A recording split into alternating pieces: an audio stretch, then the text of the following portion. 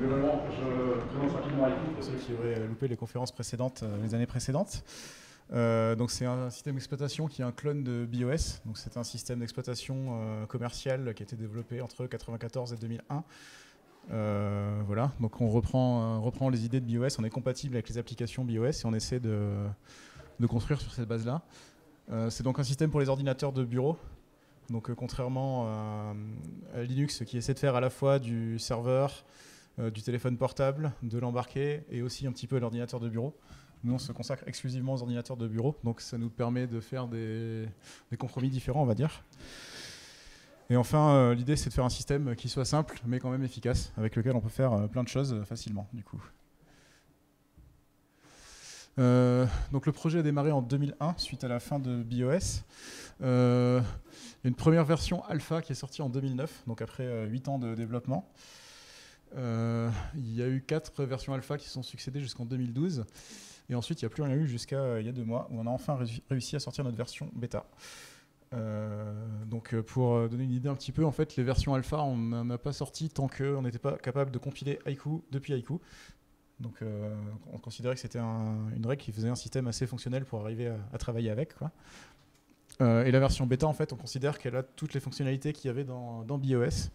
Et il y en a un peu plus parce qu'en fait, on a on a aussi euh, rajouté, bah, par, exemple, le Wi-Fi, l'USB 3, des choses un petit peu, un petit peu plus récentes qui n'existaient pas à l'époque de BIOS, mais qui étaient quand même euh, assez indispensables pour, euh, pour un système moderne. du coup, voilà, on va voir un peu ce qu'on a fait pendant 6 ans, parce que c'était quand même assez long entre deux versions. Et en fait, il y, a quand même pas mal de choses. Donc voilà, je vais faire un peu le tour des, différentes fonctionnalités qui sont arrivées depuis, depuis 6 ans dans, dans euh, voilà, donc du coup, euh, l'objectif de départ c'était euh, réécrire BIOS version 5 en étant compatible et puis au niveau binaire. Donc on, peut toujours d'ailleurs lancer les applications BIOS sur Haiku. et donc en 2010, après la, première version alpha, on avait fait un grand sondage. En fait, on a demandé à tous les utilisateurs ce qu'ils pensaient qu'il serait utile de rajouter. Non, il y, en a eu, il y a eu quand même quelques centaines de réponses à l'époque. Euh, et en fait, euh, on était assez optimiste. Il y a une version alpha qui venait de sortir. On s'est dit, bon, euh, c'est cool, ça avance assez vite. Du coup, on va rajouter le Wi-Fi, on va rajouter voilà, un vrai support USB complet. On va écrire plein de documentation pour toutes les, toutes les fonctionnalités du système. on va pouvoir mettre à jour le système automatiquement dès qu'il y a une nouvelle version qui sort. Enfin, voilà, on a prévu plein de choses. Et en fait, bah, ça a pris beaucoup de temps à arriver à tout mettre en place. voilà, donc le gros, gros chantier, ça a été le gestionnaire de paquets. Euh, donc au départ, on s'était dit, euh, bah, ça serait pas mal qu'on puisse mettre à jour. On va sortir une version, euh, une version bêta de puis après il y aura d'autres versions bêta qui vont s'enchaîner. Et ça serait bien que les gens n'aient pas besoin de tout réinstaller à chaque fois qu'il y a une nouvelle version bêta qui sort. Donc on va faire un système de mise à jour. Donc on a mis deux développeurs sur cette, sur cette tâche en leur disant, bah, voilà, faites, faites le nécessaire. Et en fait, ils se sont lancés dans un truc beaucoup plus ambitieux, qui est un gestionnaire de paquets, qui va en plus pouvoir mettre à jour toutes les applications. Euh, donc du coup, euh, du coup, c'était beaucoup plus que ce qui était prévu au départ.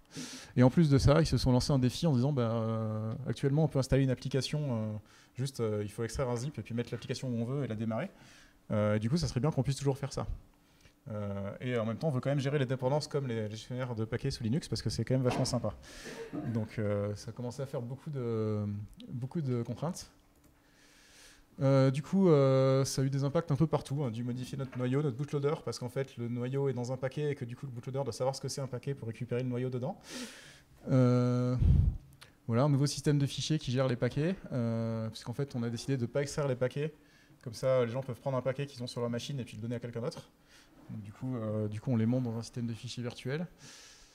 Euh, et surtout, en fait, du, côté administration système, donc nous on avait notre, euh, serveur qui permettait à l'époque juste d'avoir le dépôt Git et puis le site web de Haiku. Et en fait, il s'est retrouvé aussi à héberger le, dépôt de paquets. Et puis il y avait toute la partie logistique pour construire les paquets. Donc il y a des, euh, machines en fait qui sont dédiées à ça, qui vont compiler les paquets à partir d'instructions de, compilation. et ça, c'est un travail qu'on n'avait pas du tout anticipé. Donc en fait, c'est ça qui a beaucoup retardé la version bêta c'est qu'en fait, on a dû euh, mettre en place vraiment une équipe euh, dédiée à bah, l'administration du serveur euh, et la gestion de, ces machines qui vont compiler les paquets. Alors globalement, voilà ce que ça donne. On a donc un joli gestionnaire de paquets graphique avec donc on a en haut la, liste des applications. On peut faire des recherches Et on a en fait bah, une capture d'écran, une petite description. On a les, évaluations des utilisateurs, donc un peu comme un App Store en fait, où les, gens peuvent voter pour une application en disant ouais c'est super cool, ça marche bien, ou alors, alors au contraire c'est tout buggé ou ça fait pas ce qu'on veut.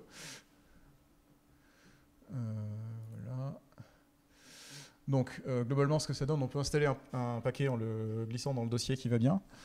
on a donc le gestionnaire de paquets graphiques. On peut rechercher des commandes sans connaître le nom du paquet. Donc en fait, il y a une syntaxe euh, au niveau du gestionnaire en ligne de commande.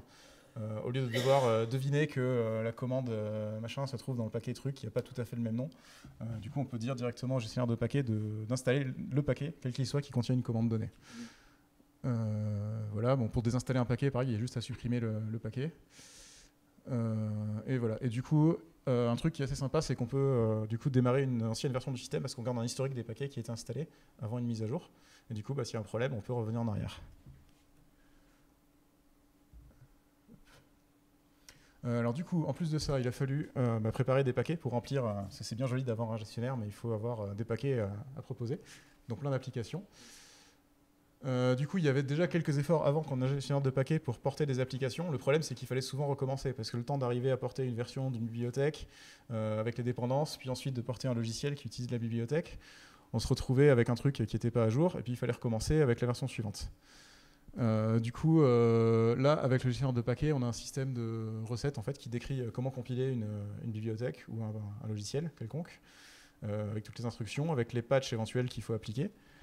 Euh, et du coup, on a pu, euh, grâce à ça, se lancer dans des trucs assez ambitieux. Donc, on a Qt, on a Telegram, on a LibreOffice, on a Cubzilla qui est un navigateur web. Euh, d'autre part, on, a un projet qui a été monté qui s'appelle IQ Archive. Donc là, l'idée, c'est plutôt de contacter les développeurs d'applications pour BIOS, donc des trucs qui étaient développés jusqu'en 2001 et qui n'ont pas bougé depuis, et puis d'essayer de récupérer les, codes sources des applications.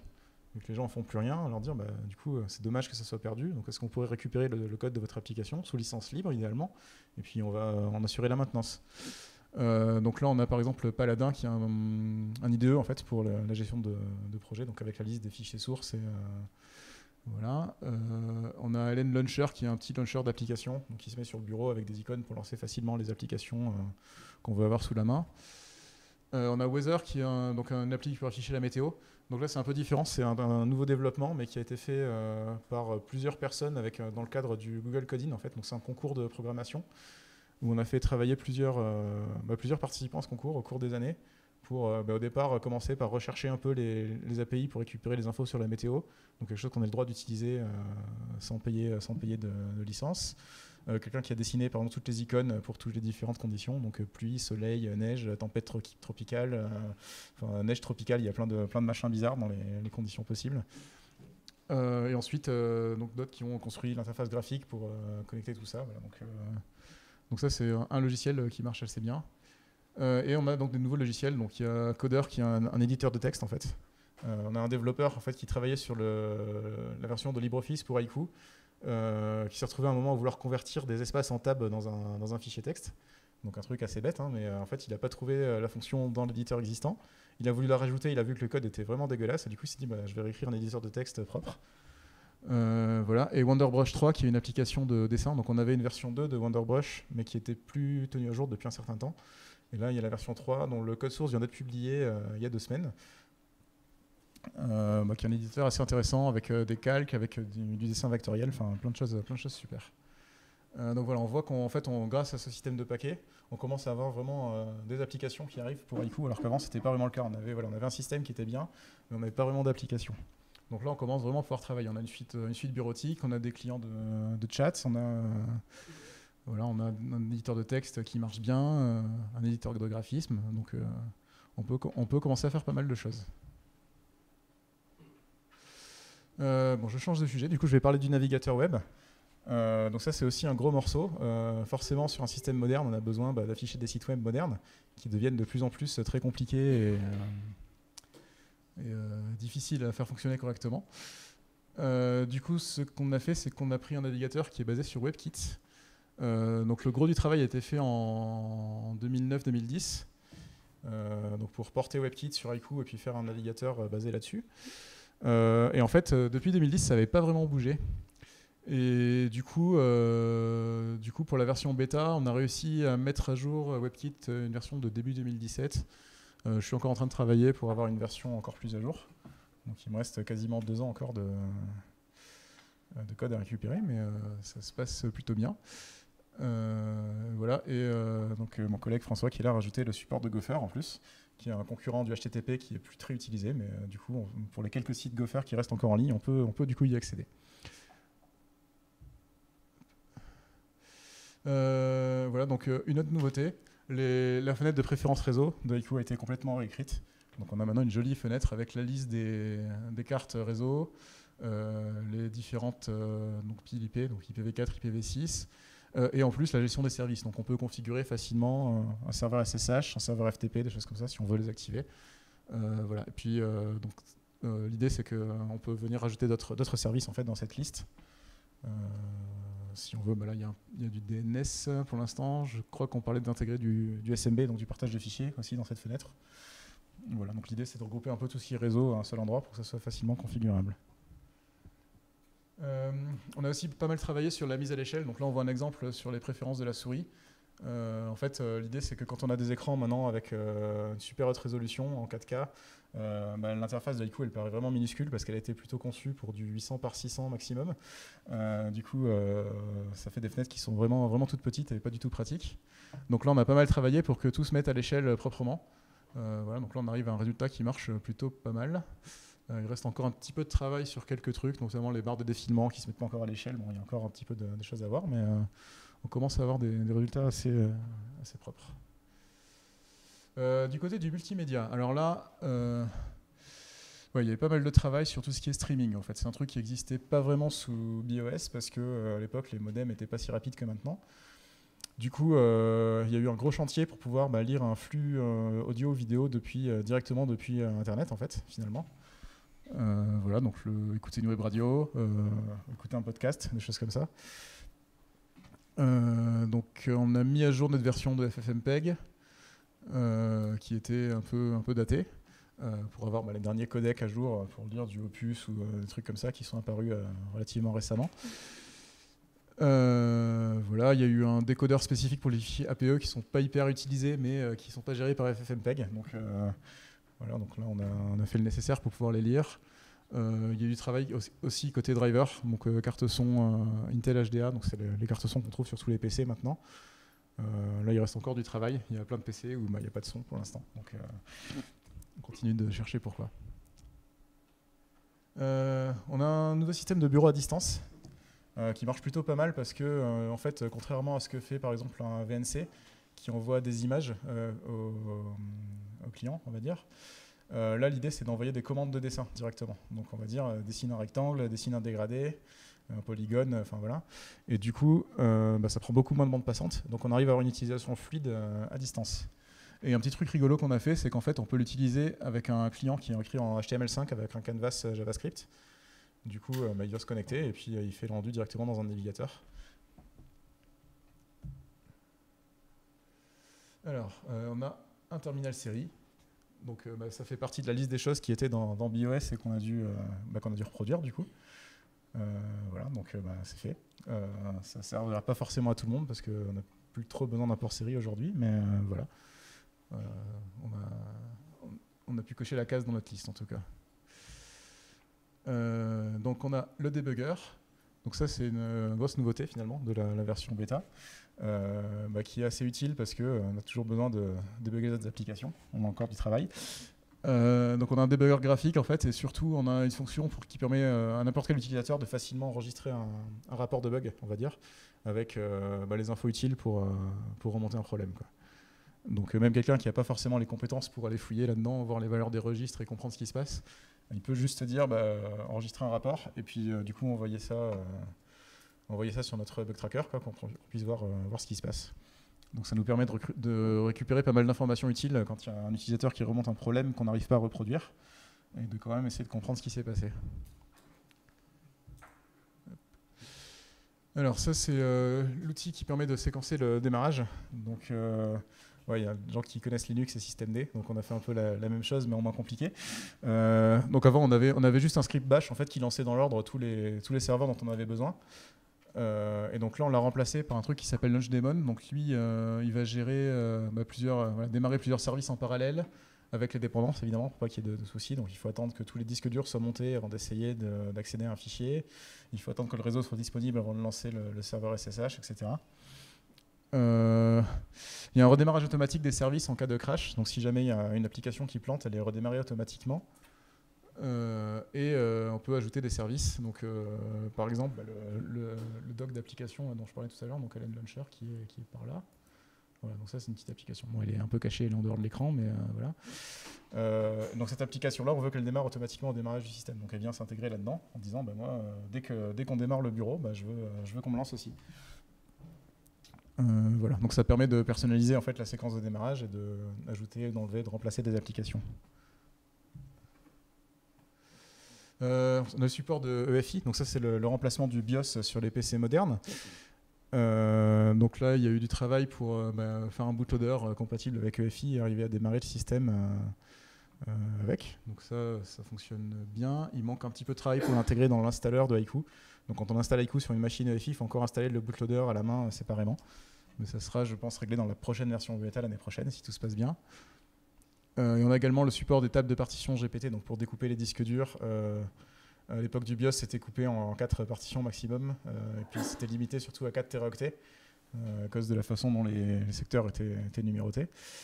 Du coup, là, on n'a plus ces problèmes-là. Donc, on a un, système de partitionnement qui permet de découper autant de, partitions qu'on veut et de plus avoir de limites de taille. Enfin, il y en a une, mais elle est beaucoup plus large, et du coup, on n'aura pas de problème pour quelques dizaines d'années.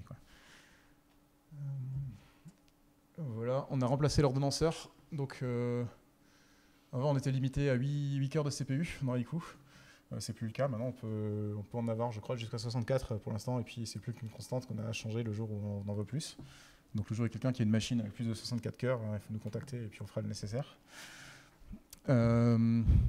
Et du coup, euh, voilà, le, nouvel ordonnanceur, euh, en fait, il y avait un problème avec l'ancien, c'est que plus il y avait de threads plus il, était lent. Donc c'est un problème qui était réglé. Maintenant, euh, maintenant il n'y a plus ce souci-là, il, il, passe beaucoup mieux à l'échelle. Alors, des trucs un peu techniques, de la protection sur les zones mémoire pour, éviter l'exécution de code du noyau par une application ou inversement. Euh, éviter euh, l'exécution de code d'une zone qui n'est pas censée contenir du code exécutable. Donc c'est des aspects de sécurité. Euh, ce sont des choses qui sont apparues dans les, dans les processeurs assez récemment pour certaines, mais pas tout.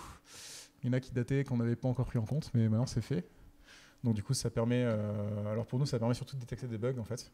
Un driver qui alloue de la mémoire, euh, qui oublie de dire que c'est que pour le noyau et du coup une application qui se retrouve à écrire dedans par erreur, c'est pas terrible. Euh, voilà, ça protège un peu côté sécurité, mais là on a encore beaucoup de travail, donc c'est vraiment le minimum de ce côté-là.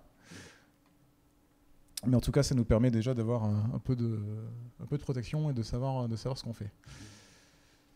on a des pilotes pour Virtuio, donc ça c'est pour la virtualisation. En fait, il y a une euh, spécification. Habituellement, les machines virtuelles, elles émulent un, matériel existant. Et euh, maintenant, euh, il y a des pilotes plus simples qui émulent un matériel qui n'existe pas. Donc un truc entièrement virtuel. Donc il y a des disques durs, enfin des périphériques de stockage, du coup, du réseau, un générateur de nombres aléatoires, qui permet d'exploiter l'entropie de la machine haute, en fait. C'est un problème qu'il y a sur les machines virtuelles, c'est que quand on essaie de générer un nombre aléatoire, en fait, le système est beaucoup trop prédictible, et du coup, on n'arrive pas à on n'arrive pas à trouver assez d'aléatoires assez pour générer des nombres de façon fiable. Donc là, on peut demander à la machine euh, hot euh, de nous en fournir.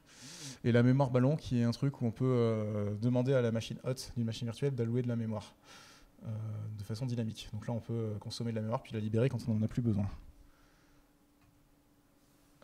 voilà, donc ça, ça permet d'utiliser Haiku dans une machine virtuelle de façon un peu plus confortable. au niveau des pilotes réseau, donc là, en fait, on triche parce qu'on utilise les pilotes de FreeBSD. Euh, et maintenant, on utilise les pilotes de la dernière version de FreeBSD, donc la version 11. Euh, et du coup, on a remonté des bugs à FreeBSD parce qu'en fait, euh, comme c'est un système qui est plutôt pour les serveurs, leurs pilotes Wi-Fi, par exemple, ils les utilisent pas souvent. Et du coup, bah, on a trouvé quelques soucis dedans. Donc on leur a remonté les problèmes, ils ont corrigé de leur côté. voilà. on a plein de nouveaux systèmes de fichiers. Donc on a du NFS version 4. Euh, on a du BetterFS qui marche pour de vrai avec la version euh, définitive de BetterFS parce qu'on avait une version euh, pas finie à partir d'une spec, d'un draft d'il y a longtemps et que du coup ils avaient changé des trucs entre temps. et on a un truc qui s'appelle UserlandFS qui permet de lancer des systèmes de fichiers en espace utilisateur. bah, qui nous permet d'avoir du SMB, donc ça c'est les partages réseau de Windows, qui nous permet de lancer plein de systèmes de fichiers qui sont écrits pour Fuse, qui est l'équivalent pour Linux, et qui nous permet aussi d'utiliser les systèmes de fichiers qui étaient écrits pour BOS, si quelqu'un en a encore un sous la main. Euh, c'est pas le cas d'utilisation le plus fréquent au final, mais c'est possible. on a un TMT en 64 bits. voilà, bon ça c'est le bug de l'an 2038. On compte, euh, le nombre de secondes depuis le 1er janvier 1970 pour savoir euh, la date du jour. Et il se trouve qu'en 2038, si on compte sur 32 bits, on arrive à la, fin du compteur. Et euh, du coup, bah, il faut passer sur 64 bits. En fait, alors a priori, c'est pas un gros problème. On se dit oui, on change la variable et puis c'est bon. Mais en fait, le truc, c'est que nous, on a des applications BOS qu'on veut toujours faire fonctionner. Et si on change la taille de la variable, bah, ça va tout casser parce qu'elles vont plus appeler les fonctions avec les bons paramètres aux bons endroits. Du coup, bah, pour la version compatible avec BOS, on n'a rien pu faire. Par contre, on a profité d'avoir une version 64 bits de Haiku pour faire ce changement au passage. Voilà. Euh, on a du Bluetooth. Alors pour l'instant, on peut juste appairer un appareil. On n'a rien fait d'autre. Donc il euh, faut rajouter tous les pilotes pour faire de l'audio sur Bluetooth, du partage de fichiers, enfin toutes les utilisations. Pour l'instant, on peut juste euh, appairer un appareil. C'est un, bon début, mais ça fait pas tout. voilà, on a corrigé plein de bugs. il en reste encore plein. Donc ça, bah, on va continuer. Euh, de toute façon, c'était pas le but pour la version bêta. On voulait juste avoir toutes les fonctionnalités. Les bugs, euh, ça vient après. Donc là, on va rentrer dans une phase où on va essayer de corriger euh, tous les bugs qui restent. voilà. Et donc, bah, j'espère avoir une prochaine version l'année prochaine. donc, ce qu'on a listé globalement, c'est des améliorations sur les pilotes graphiques, notamment Intel, qui ne marchent pas tous les coups sur toutes les machines. Et audio, pareil, donc le pilote qui, qui détecte bien la carte son, mais qui n'arrive pas à faire sortir du son des haut-parleurs, c'est un peu dommage. Euh, bah, le navigateur web, donc là, euh, bah, arriver à lire les vidéos YouTube sans que ça plante dès qu'il y a une pub au milieu, euh, enfin voilà, plein de choses comme ça. donc la mise à l'échelle, donc j'ai montré quelques captures d'écran pour les, écrans avec haute résolution. là, il faut qu'on finisse ce travail, donc toutes les petites choses qui manquent.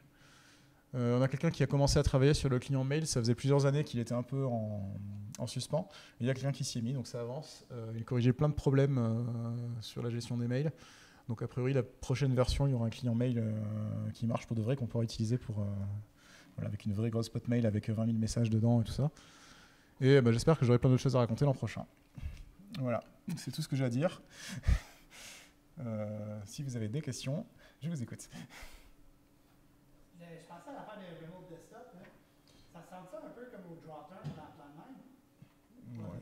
La façon d'envoyer des instructions de dessin plutôt que d'envoyer des données. Ouais. Ouais, ouais. Donc, euh, je peux pas faire de démo parce que j'ai qu'un seul ordinateur, mais euh, ouais, ça marche assez bien. Après, euh, il y a encore du travail parce qu'il y a, alors notamment le client HTML5, il y a plein de subtilités sur les dégradés, les polygones. Est-ce que le, remplissage des polygones, est-ce qu'il est fait Enfin, il y a deux algos en fait qui existent. Donc il y a plein de, petites choses comme ça qui font que ça marche pas parfaitement, mais ça marche quand même beaucoup mieux que voilà. Après, il faut savoir que X11, donc X11 sous Linux sait le faire aussi mais euh, c'est pas utilisé parce que les applications euh, en fait n'utilisent pas les instructions de dessin de X11. Ils vont faire leur rendu en local, euh, notamment parce que X11 ne fait pas d'anti-aliasing, que c'est très moche. Du coup, euh, bah, du coup, X11 pourrait le faire, mais en pratique, en pratique bah, on se retrouve quand même avec des, des bitmaps. Voilà.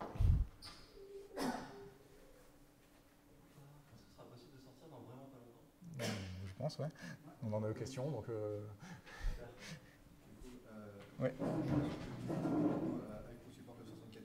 Oui, oui j'ai oublié de le dire, mais c'est une des nouveautés de la version bêta en fait. Oui, donc oui, effectivement, IQ supporte le 64 bits. Euh, voilà. Pas encore, mais là, il faut voir avec euh, François, il s'en charge. euh, ouais.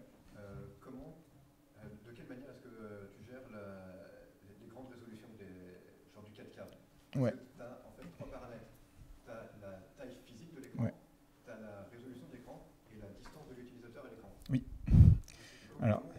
Alors du coup, ce qu'on a fait, c'est que pour l'instant, on laisse l'utilisateur se... Oui. Donc la question, c'est comment on fait pour gérer les écrans haute résolution en tenant compte à la fois de la taille physique de l'écran, de la résolution et de la distance. Parce qu'effectivement, quand on est sur un vidéoprojecteur comme ça, les gens vont être plutôt loin. Alors ce qu'on a fait pour l'instant, c'est que l'utilisateur choisit la taille du texte et on met tout à l'échelle en fonction de ça. Donc il y a un réglage de taille et puis l'utilisateur bah, fait comme il veut. Euh, moi, comme j'ai des bons en général, je mets des trucs tout petits sur mes, PC. Et puis il y a des gens qui préfèrent un truc plus gros aussi, juste par confort. Donc euh, voilà. Donc au final, bah, l'utilisateur fait son réglage comme il veut et puis toute, l'interface se met à l'échelle euh, de façon cohérente. Voilà, on pourrait essayer de l'automatiser parce qu'on peut effectivement récupérer la taille de l'écran depuis les infos des DCCI, donc il y a un bus de communication avec l'écran. Le truc qui est important pour la lecture, c'est l'angle. Ouais, oui, c'est ça. Mais ça, mais ça, on pourra pas le deviner, je pense. voilà. Et ça, je pense qu'il n'y a pas de moyen de le récupérer facilement. Donc. Euh... Ouais, alors faudrait, faudrait qu'on arrive à faire. Voilà. Si on faisait marcher notre driver de webcam, des gens seraient contents. Donc. Euh...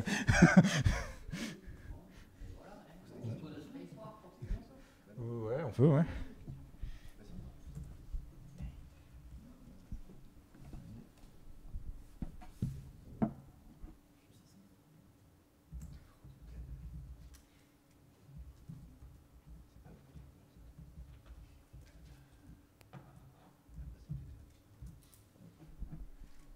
C'est à la demande du, public, euh, Space War, donc un jeu qui a été écrit pour euh, PDP-1 dans les années 60, que j'ai porté sur Haiku euh, il y a deux semaines. Donc voilà. un petit jeu de vaisseaux spatiaux. S'il y a des gens qui veulent l'essayer. voilà. Ouais, venez sur le stand plutôt, parce qu'ici il va falloir qu'on libère la salle, mais voilà.